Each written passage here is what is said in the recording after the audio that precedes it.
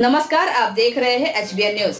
दिल्ली में आतंकवादी पकड़े जाने के बाद बलरामपुर में अलर्ट जारी कर दिया गया है। बलरामपुर ज़िले के सभी बॉर्डर पर चेकिंग अभियान चलाया जा रहा है। इसी के साथ नेपाल सीमा को लेकर भी अलर्ट जारी कर दिया गया है और जगह जगह पर पुलिस बल तैनात किया गया है। वहीं बलरामपुर एसपी ने बताया कि ज़िले के बॉर्डर पर चेकिंग अभियान के तहत आने जाने वाले व्यक्तियों की तलाशी की जा रही है। एकता का राज चलेगा। हिंदू मुस्लिम साथ चलेगा। मुश्किल इस राह में मुस्कान नहीं छोड़ूँगी। ऊंचाई की चाह में स्वाभिमान नहीं छोड़ूँगी। महुआ विधानसभा क्षेत्र के दोनों प्रखंड के अंतर्गत विभिन्न पंचायतों में पिछले तीन सालों से मेडिकल कैंप लगाकर लोगों की सेवा में तत्पर।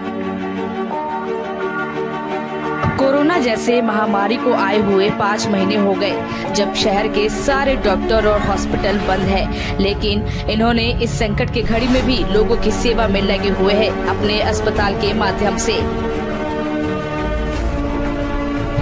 पिछले पाँच महीनों से कोरोना वायरस जैसे खतरनाक बीमारी से बचने के लिए लोगों के बीच साबुन, मास्क का वितरण और लोगों के बीच घूम घूम कर इस बीमारी के खिलाफ सजग रहने की सलाह दी। महुआ विधानसभा क्षेत्र में मेडिकल कैंप के दौरान फ्री दवा का वितरण। क्यों करे विचार?